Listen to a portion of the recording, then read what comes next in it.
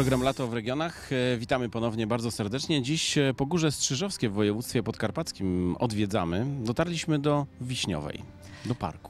Miejsce wyjątkowe ze względu na swoją tradycję, bo od lat 20. przyjeżdżali tu najlepsi malarze, najlepsi artyści z Polski i zagranicy. A o tym już teraz opowie nam pan Andrzej Szypuła, prezes Towarzystwa imienia Zygmunta Mycielskiego Wiśniowej. Witamy pana serdecznie. Witamy. Jedno miejsce, wiele historii.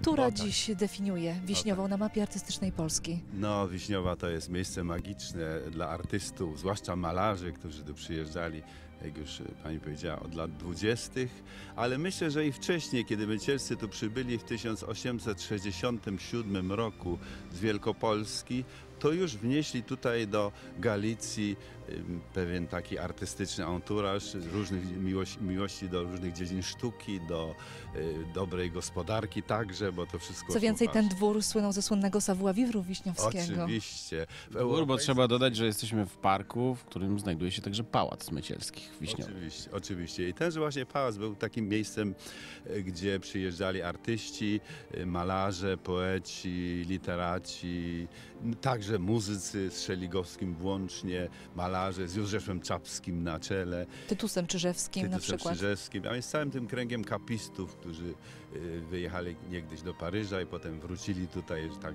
niektórzy żartują, że, że ten kierunek kapistów powstał właśnie w Wiśniowej, ale pewnie nie do końca jest to prawda. Tu od zawsze pachniało malarstwem, a jak jest dziś? Kto tu przyjeżdża? Kto szuka natchnienia? No, już od szeregu lat przyjeżdżają tu artyści malarze, od kilku lat także naukowcy, ponieważ staramy się oprócz pleneru już międzynarodowego od paru lat również pogłębiać wiedzę o malarstwie, dyskutować o sztuce, nie tylko zresztą o malarstwie, także o muzyce, o literaturze.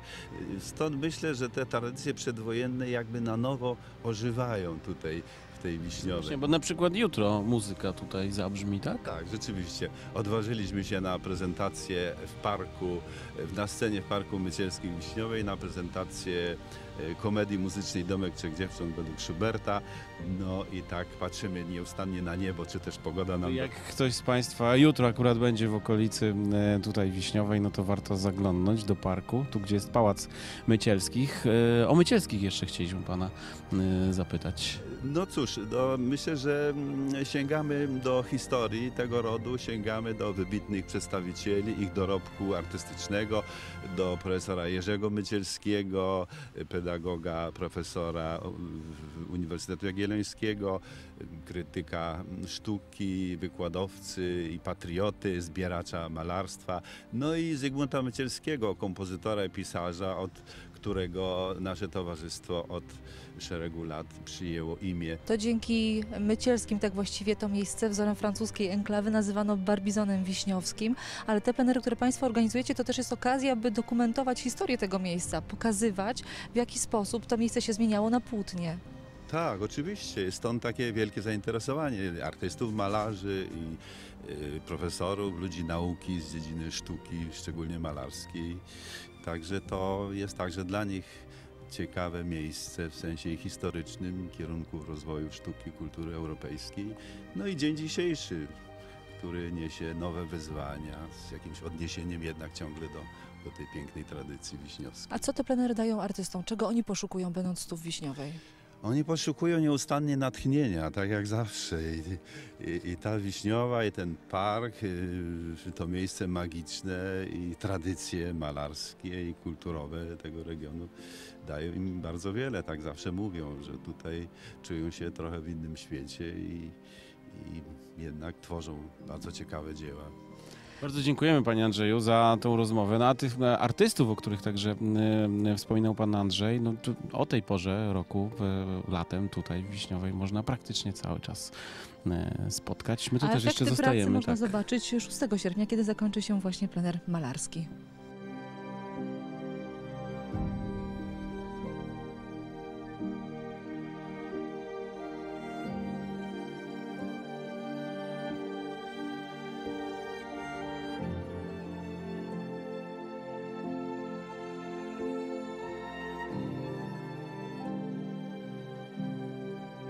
Tym roku e, gościmy e, artystów powiązanych z Zakładem Malarstwa Wydziału Sztuki Uniwersytetu Żurawskiego.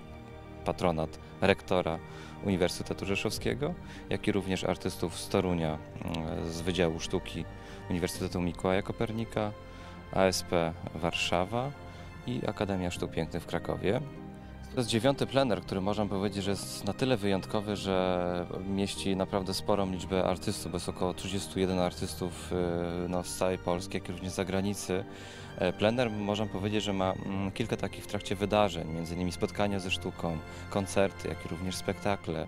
E, Są też przede wszystkim też organizowane cały czas takie, można powiedzieć, e, no, integracyjne wieczory, gdzie możemy dyskutować, rozmawiać na temat sztuki, na temat tego, co e, no, tutaj może, może, może nas otaczać, prawda, czyli ta atmosfera, która, która no, jest niepowtarzalna. 7 sierpnia odbędzie się wystawa poplenerowa.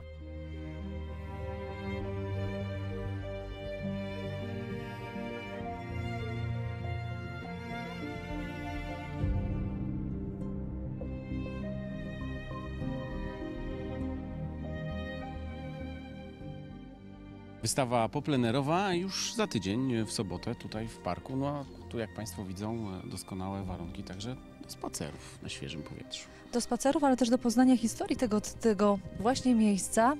A najlepszym jego świadkiem jest Dąb Józef, który w tym roku został okrzykniętym drzewem roku. Jaka jest jego historia? Dzień dobry, witam Państwa bardzo serdecznie. W zespole parkowo-dworskim i folwarcznym Wiśniowej mamy kilka takich staruszków, ale najcenniejszym zabytkiem jest właśnie dąb Józef. Jest to drzewo, które w latach 30. zostało uwiecznione przez Józefa Mechofera na szkicu, który następnie trafił na rewers 100 złotowego banknotu, który był w powszechnym obiegu na terenie Rzeczpospolitej. Czyli miał premierę w polskiej mennicy. Dokładnie tak. Następnie kilkanaście lat później ten dom Józef był bohaterem innej historii. Mianowicie według lokalnej społeczności w Dębie ukrywała się rodzina żydowska, która przeżyła notabene wojnę. Potem w 2016 roku właśnie dom Józef został okrzyknięty drzewem roku w Polsce. Ale ten park i pałac i odnowione budynki to także y, kompleks, y, gdzie chociażby planowane jest tak, duże centrum konferencyjne. Tak, Dziś już jego tak. część Jest już jest tak. gotowa. Tak, zespół parkowo-dworski i folwarczny jest własnością powiatu strzyżowskiego. Administrowany jest przez jednostkę powiatową, Powiatowe Centrum Kultury i Turystyki. Zarząd powiatu przejął te dobra w 2005 roku. Były one bardzo zdewastowane, potrzebowały dużych nakładów finansowych. Jedną część mamy już wyremontowaną, w planach są kolejne i oficyna, i pałac. Czyli turyści będą w przyszłości mogli się tu zatrzymać. Tak, myślę, że tak. Już zapraszamy bardzo serdecznie. Czyli to też takie dobre miejsce, gdzie będzie można przyjechać na przykład na weekend. Tak, oczywiście. A że y, sztuka towarzyszy y, temu miejscu cały czas, no to już mieli Państwo okazję zobaczyć artystów, y, którzy w tej chwili właśnie uwieczniają to miejsce, na przykład na płótnach, ale także muzyka w tym parku rozbrzmiewa przez cały czas. Dziś program Lato w regionach z Pogórza Strzyżowskiego. Jesteśmy w dwóch gminach, odwiedzamy gminę Frysztak i gminę Wiśniowa. No a teraz w takim razie żegnamy się z Państwem muzycznie i mówimy do zobaczenia niebawem. Do Jesteśmy zobaczenia. cały czas.